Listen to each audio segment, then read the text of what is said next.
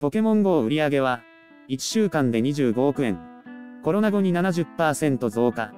ポケモン GO の週あたりの売り上げは、新型コロナウイルスのパンデミックを受けて、70%近く増加していたことが、オンライン調査企業である、スタティスタのデータで、明らかになった。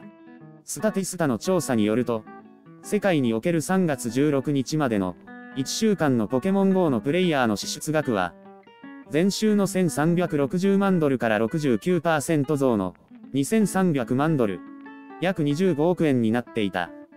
これは世界の大都市でロックダウンが実施され、米国民の多くが自宅待機を求められたタイミングだ。支出額の大半を占めたのは米国人ユーザーで、週あたり780万ドルを支払っていた。直近のデータはまだ開示されていないが、3月以降の支払額はさらに増加した可能性が高い。3月以降に各国では、ロックダウンの強化が進んだが、ポケモン GO の開発元のないアンティックは、このゲームを自宅で楽しめるようにする、複数のアップデートを加えていた。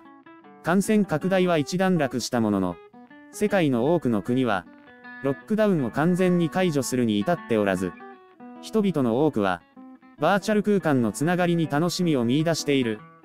4月下旬にポーツマス大学の研究チームは、ポケモン GO が人々を仮想空間でつなぐ役割を果たしていると述べた。同大学のグレグスイ教授は、YouTube やその他の SNS のポケモン GO コミュニティが、人々の孤独を和らげていると分析した。今回明らかになったのは3月中旬までのデータだが、その後このゲームがさらに支持を高めたことは、容易に推測できる。ナイアンティックは、3月初旬から感染拡大の影響を受けた国々で、コミュニティ、デイ、や、レイドアワーなどの人が集まるイベントを延期や中止にし、対人戦の Go バトルリーグを無料にしたほか、家の中で楽しめる機能を強化した。また、少し離れた地点のレイドバトルに参加できる。リモートレイドバトルも始まったが、参加するためには専用のリモートレイドパスを、アプリ内で購入する必要がある。これによりポケモン GO の売り上げは、さらに高まる見通しだ。2019年のポケモン GO の売り上げは、過去最高の9億ドルとなったが、今後も売り上げの伸びは続きそうだ。このことについての Twitter の反応を見ていきましょう。これは意外。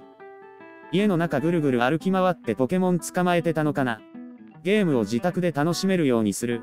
複数のアップデートを加えていたのが大きいようですね。変化への迅速な対応に、頭が下がります。支出額の大半を占めたのは米国らしいですね。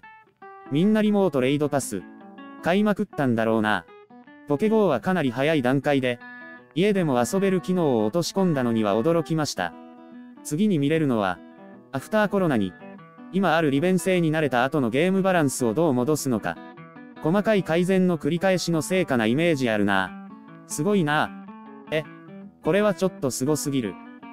前提にしているユーザー行動が真逆になったのに、パフォーマンス上げてるって、マーケティングとプロダクトの動き早すぎる。すごい。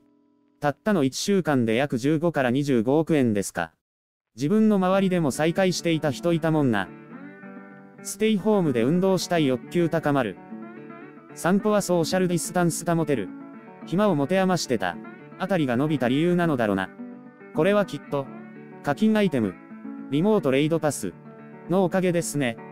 あのアイテム期間限定の今だけなのかなレイドボスに自宅から簡単に取れちゃう状態なので、麻薬のようなものですね。ずっと、実装してるとかそる要因になりそうです。ポケモン GO、コロナ禍の最中でも活躍してますね。その迅速な対応がすごいですね。本日もご視聴、ありがとうございました。ではでは。